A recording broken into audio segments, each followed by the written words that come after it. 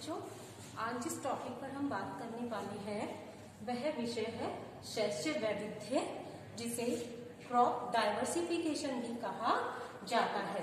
अब सबसे पहले हम बात करेंगे कि शैष्य वैविध्य या क्रॉप डाइवर्सिफिकेशन होता क्या है। जैसा कि आपको देखकर पता चल रहा है, शैष्य का मतलब होता है यहाँ पर फ़सल और वैविध्य का मतलब होता है विविधता या अनेकता, ठीक है? शैष्य का मतलब होता है फ़सल और वैविध्य का मतलब है विविधता या अनेकता। तो शैष्य वैविध्य क्या हुआ? फ़सलों की विविधता, है ना? क्रॉप डाइवर्सिफिकेशन का मतलब यहाँ पर अगर शाब्दिक रूप में देखें तो क्या हुआ? फ़सलों की विविधता।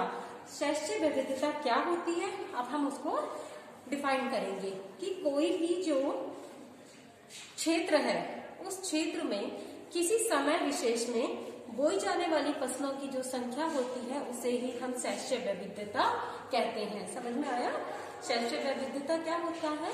कि किसी समय विशेष में, किसी क्षेत्र विशेष में बोई जाने वाली जो कुल फ़सलों की संख्या होती है, उसे ही हम शैष्य वैविध्य या क्रॉप डाइवर्सिफिकेशन या क्रॉप विषमता या शैष्य विविधता कहते हैं। यानी कि कोई टाइम पीरियड हमने लिया, जैसे मान लीजिए हमने लिया मार्च से लेकर अप्रैल, मई, जून, जुलाई। मार्च से जुलाई तक का हमने अगर टाइम लिया है तो इन चार महीनों के अंतर्गत अगर हम देखें कोई एक खेत, ये तो हुआ हमारा टाइम अब है कोई क्षेत्र। क्षेत्र का मतलब कोई खेत। तो किसी निश्चित टाइम में, किसी खेत में बोई जाने वाली जो फ़सलों की संख्या है, उसे ही हम शैष्य वैविध्य कहते हैं कि कोई एक खेत जो है, उस एक खेत में किसी निश्चित या पर्टिकुलर टाइम पर एक साथ में कितनी फ़सलों को पैदा किया जा रहा है, वही हमारा शैष्य वैविध्य कहलाता है।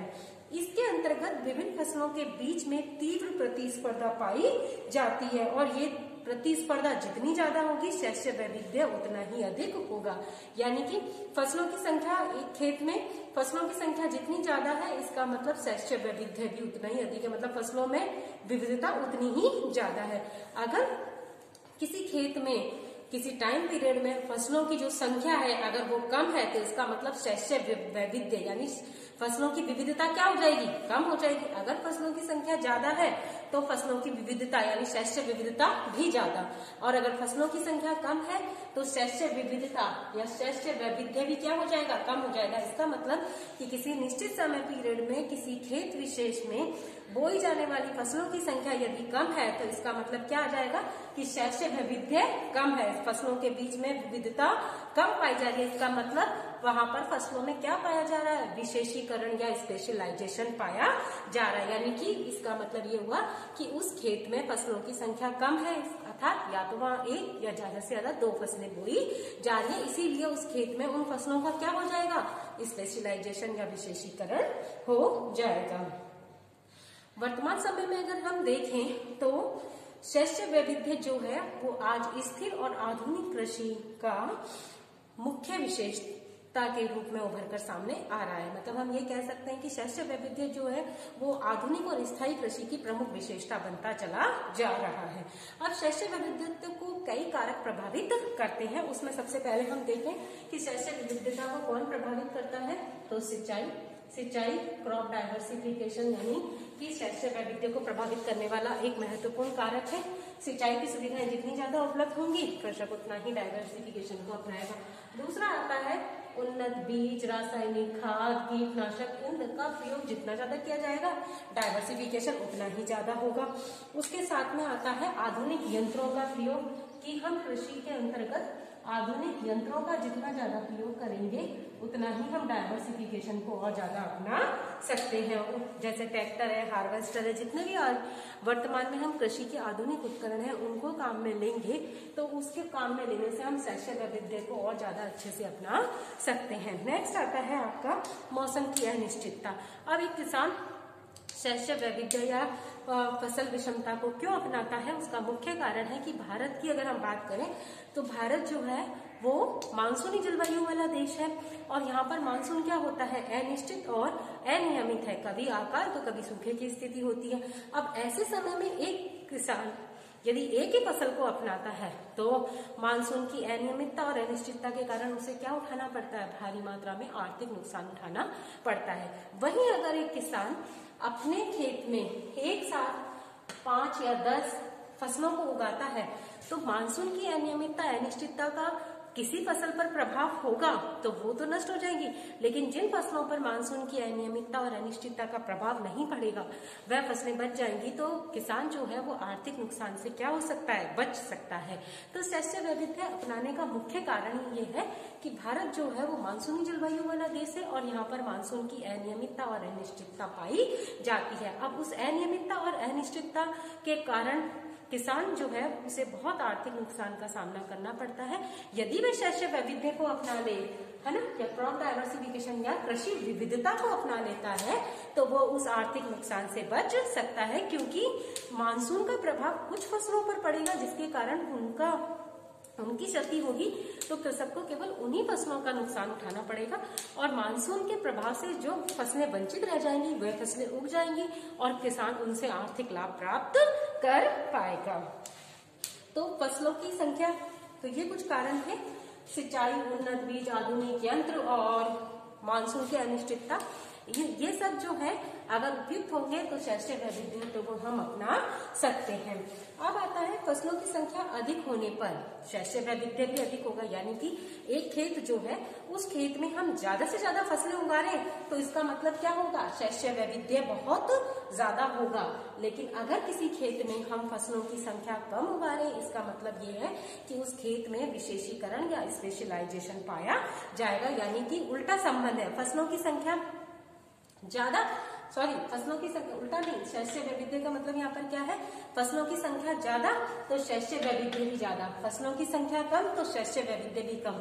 और शैष्य वैविध्य कम होने का मतलब है कि फ़सलों में क्या पाया जा रहा है? विशेषीकरण पाया जा रहा है या स्पेशलाइजेशन पाया जा रहा है। अब देखिए कि कोई जो खेत है, अगर एक खेत में हमने क्या करा? एक हमारे पास खेत है, और उस खेत में हमने एक साथ दस फ़सलों को उगाया। तो इसका मतलब ये हो गया कि ये हमारा हंड्रेड परसेंट एरिया हो गया। अब इस हंड्रेड परसेंट एरिया में हम कितनी फ़सलों को उगा रहे हैं? दस फ़सलों को उगा रहे हैं। इसका मतलब प्रत्येक फ़सल के अंतर्गत प्रयुक्त होने वाला क्षेत्रफल कितना होगा? Ten ten ten ten percent होगा। तो इसका मतलब शस्य वैविध्य अधिक होगा। लेकिन मान लीजिए हमारे पास ये एक दूसरा खेत है और इस खेत के अंतर्गत केवल और केवल हम यहाँ पर कितनी फ़सल को उगा रहे हैं? एक फ़सल को उगा रहे तो इसका मतलब ये पूरे के पूरे कितने कृषि क्षेत्र पर फ़सल बोई जा रही है? हंड्रेड परसेंट पर। तो शैष्य वैविध्य में क्या होता है कि हमारे पास जो क्षेत्र है उसमें अगर मान लीजिए हमने 10 फ़सलों को एक साथ उगाया तो प्रत्येक फ़सल के अंतर्गत प्रयुक्त होने वाला क्षेत्रफल टेन टेन टेन परसेंट होगा, यानी शस्य वैविध्य अधिक होगा। लेकिन यदि हमारे पास जो क्षेत्रफल है, उस क्षेत्रफल में यदि हम एक ही फ़सल को उगाएँगे तो इसका मतलब ये है कि हम 100 परसेंट एरिया पर एक ही फ़सल को उगा रहे हैं तो यहाँ पर शस्य वैविध्य न होकर के स्पेशलाइजेशन हो गया, विशेषीकरण हो गया, यानी कि यहाँ पर हम केवल एक ही कृषि को एक खेत में कर रहे हैं। अब शस्य वैविध्य की गणना कैसे की जाए, उसके संबंध में अलग अलग विद्वानों ने अपने अपने मतों का प्रतिपादन किया है। जैसे अगर हम देखें तो शस्य वैविध्य के संबंध में सबसे महत्वपूर्ण प्रयास जो था, वो भाटिया के द्वारा उन्नीस सौ पैंसठ में किया गया था। अब भाटिया ने शस्य वैविध्य को ज्ञात करने के लिए जो सूत्र दिया था, वो था शस्य वैविध्य सूचकांक, जिसे हम सीधी कहते हैं, क्रॉप डाइवर्सिफिकेशन। अब इसे ज्ञात करने का फार्मूला जो भाटिया ने हमारे सामने प्रस्तुत किया था, वो था, एक्स फ़सलों के अंतर्गत बोए गए क्षेत्र का प्रतिशत अपॉन में एक्स फ़सलों की संख्या। मतलब एक्स फ़सलों के अंतर्गत बोए गए क्षेत्र का प्रतिशत कि हमने फ़सलों के अंतर्गत कितने कितने कितने कितने प्रतिशत क्षेत्र को सम्मिलित किया है और उस क्षेत्र में कुल फ़सलों की संख्या कितनी है? अगर इसका इसमें भाग लगा दिया जाए तो हमारे पास क्या आ जाएगा? सीडी यानी क्रॉप डाइवर्सिफिकेशन आ जाएगा। उसके पश्चात भाटिया के बाद में 1976 के अंतर्गत हरियाणा में जसवीर सिंह ने भी शैष्य वैविध्य को ज्ञात करने के लिए एक सूत्र का प्रतिपादन किया था। जसवीर सिंह ने शैष्य वैविधता को ज्ञात करने का जो सूत्र दिया था, वो था फ़सलों के अंतर्गत कुल कृषि क्षेत्र का प्रतिशत। अब ये कह रहे हैं कि जो फ़सलें हैं, उन फ़सलों के अंतर्गत कुल कृषि क्षेत्र का प्रतिशत कितना है? और फ़सलों की संख्या क्या है? तो फ़सलों के अंतर्गत जो कुल कृषि क्षेत्र का प्रतिशत है, उसमें हम फ़सलों की संख्या बाद का भाग लगा दें या डिवाइड कर दें तो भी हमारे पास क्या आ जाएगा? सीडी यानी क्रॉप डाइवर्सिफिकेशन आ जाएगा। तो इस प्रकार से अलग अलग विद्वानों ने क्रॉप डाइवर्सिफिकेशन करने के संबंध में अपने अपने सूत्रों का प्रतिपादन करके सीडी यानी क्रॉप डाइवर्सिफिकेशन को ज्ञात करने का प्रयास किया। अब हम बात करते हैं, ये था एक सिंपल सा टॉपिक आई थिंक आपको समझ में आ गया होगा कि शैश्य वैविध्य क्या है, कि किसी टाइम पीरियड के अंतर्गत, किसी खेत के अंतर्गत बोई जाने वाली फ़सलों की जितनी ज़्यादा संख्या है, वही हमारी शैश्य वैविध्य या शैश्य विविधता है, या क्रॉप डाइवर्सिफिकेशन है अलग अलग विद्वानों ने इसे जो ज्ञात किया, वो मैं आपको बता चुकी हूँ, इसको प्रभावित करने वाले कारक बता दिए। अब हम बात करते हैं भारत के संदर्भ में शैश्य विविधता। तो भारत को हम, है ना शैश्य विविधता यानी सीडी के आधार पर तीन भागों में बांट सकते हैं। निम्न शैश्य विविधता वाले क्षेत्र, मध्यम शैश्य विविधता वाले राज्य और उच्च शैश्य विविधता वाले राज्य। तो निम्न शैश्य विविधता वाले, जहाँ पर क्रॉप डाइवर्सिफिकेशन सबसे लो है उसकी अगर हम बात करें तो वह है उत्तर उत्तर पूर्वी भारत। अब उत्तरी पूर्वी भारत के अंतर्गत अगर हम देखें तो असम, मणिपुर, मिजोरम, मेघालय, नागालैंड, त्रिपुरा इसके अलावा अगर हम देखें तो पश्चिमी बंगाल, ये सारे जो और साउथ का जो पोर्शन है, जैसे केरल है, तमिलनाडु है, कर्नाटक है, ये सारे जो राज्य हैं, इन सभी राज्यों में शैश्य विविधता निम्न पाई जाती है। तो इसीलिए हम इन्हें क्या कहेंगे? निम्न शैश्य विविधता वाले क्षेत्र। तो भारत में निम्न शैश्य विविधता वाले क्षेत्र कौन से हुए? उत्तर पूर्वी और दक्षिणी राज्य जो है, वो निम्न शैश्य विविधता वाले क्षेत्रों के अंतर्गत आते हैं। उसके बाद कहते हैं मध्यम शैश्य विविधता वाले क्षेत्र की भारत के कौन से ऐसे राज्य हैं, जहाँ पर शैक्षणिकता मध्यम पाई जाती है तो इसके अंतर्गत आप देखेंगे तो यूपी आ जाएगा एमपी का कुछ पार्ट आ जाएगा, महाराष्ट्र है, गुजरात है, और तमिलनाडु का कुछ भाग है, यानी उत्तरी तमिलनाडु का जो भाग है, वो मध्यम शैक्षिक विविधता वाले क्षेत्र के अंतर्गत आता है। नेक्स्ट हम बात करते हैं हाई क्रॉप डाइवर्सिफिकेशन उच्च शैक्ष्य विविधता वाले क्षेत्र। तो भारत में ऐसे कौन कौन से राज्य हैं, ऐसे कौन कौन से क्षेत्र हैं जहाँ पर शस्य विविधता उच्च पाई जाती है?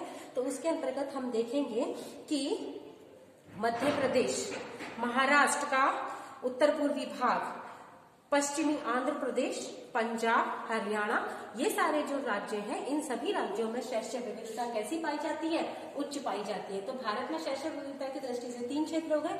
उच्च शैश्य विविधता, मध्यम शैश्य विविधता और निम्न शैश्य विविधता।